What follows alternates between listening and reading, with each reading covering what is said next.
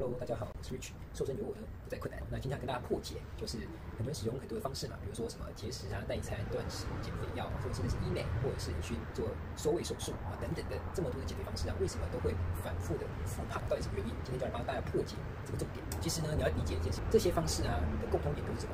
都是借由减少你饮食的摄取来进行瘦身。所以说你现在你身体是收支平衡的，就说它你三餐这样吃，你这样过生活，你的体态基本上是稳定不动的的话，代表说你现在的饮食跟你代谢掉的热量就是大批。那这时候呢，你把你的饮食降低了，对于身体而言，他会想说啊，我的薪水怎么被砍半了？各位，你的薪水被砍半，你有什么想法？你一定会干嘛？节俭一点。所以身体也是一样的啊，它原本代谢是还蛮高的，但因为你把薪水砍半了。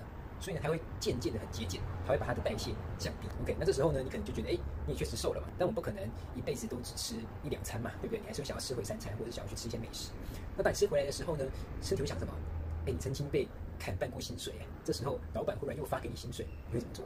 你不会花掉的，你一定会毛险存起来，因为你会怕下一次又被砍薪水。那身体也是同样的心态，所以他就会把这些你吃进去的食物呢变成脂肪囤积起来。对于他而言是一个保命机制，而对你而言就是肥胖而已。好，所以呢，这就是为什么这么多种方式哦都会让你反复复胖的真实原因。这样子，OK。那听完如果觉得对你帮助的话，好欢迎呢帮我留言、按赞跟分享。那你想了解如何简单健康瘦，你可以找我了解咨询小腹克星计划。那是我分享，拜拜。